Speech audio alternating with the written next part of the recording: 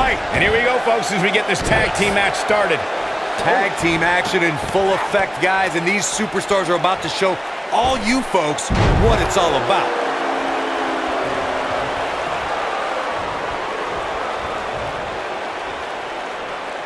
Oh, my goodness, this hurts. Oh!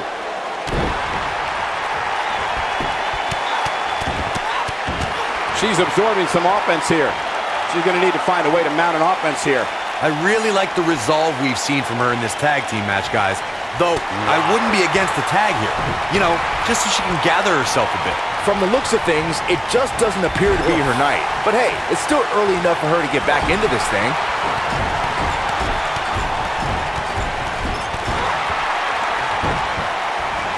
Drop kick with precision. Going for it all here. What a strike. This is all but over.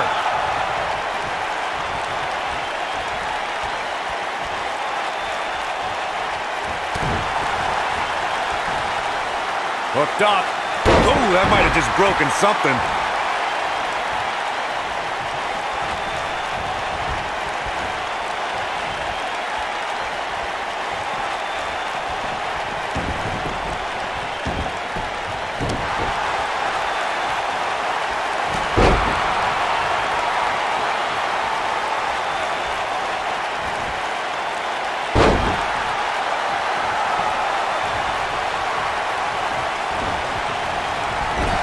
Drop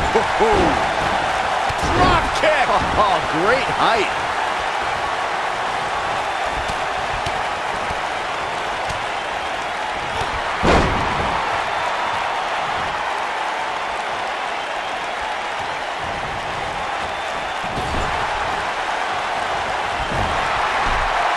Oh, what a chop block.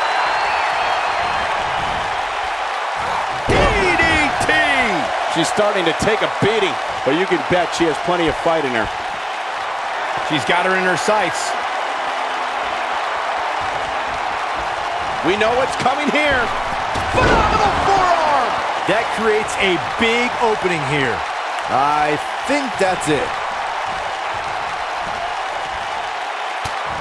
In order to be a premier tag team, a superstar and their teammate must have that continuity or they're a well-oiled machine inside the ring. I'm talking about classic techniques, like cutting the ring in half, isolating your... She's will destroy your face. She is just so dominant.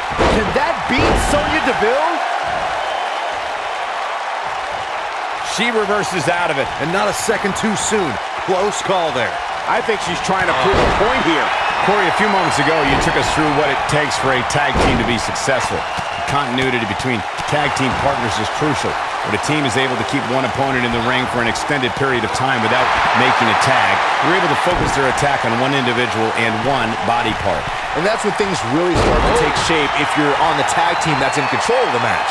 When you look at the tag team, She might have it. get out of the way. Oh, what a slam. That's it. That's what she needed. Can that beat so? Got every ounce of that. There it is. It's locked in. Smart maneuver. This one is over. Can that beat Sonya Deville? In a tag team contest, a superstar and partner lock up against another duo.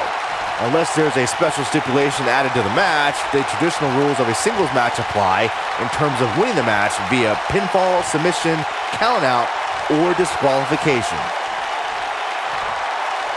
In a standard tag team match, one competitor is in the ring against an opponent, and their teammate is in their corner standing on the ring apron. I should also point out that the competitor in the ring, as far as the referee is concerned, is the legal man.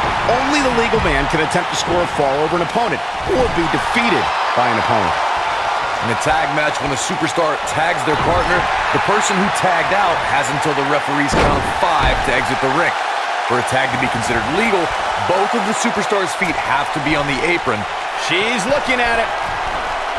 Man, you gotta believe this one's over. He's back in full control now. Mandy Rose They did it! They won the match! We've got some time to take another look at some of the highlights from that one. I'm not easily impressed, but even I thought that match was one of the best I've seen in a while. That's what I love about the WWE. A match that lives up to expectations, but still finds a way to surprise us. Good stuff. Here are your winners, the phenomenal one, Ashley Steel, and Vivacious Russian Lana. Well, that one was over before it even started.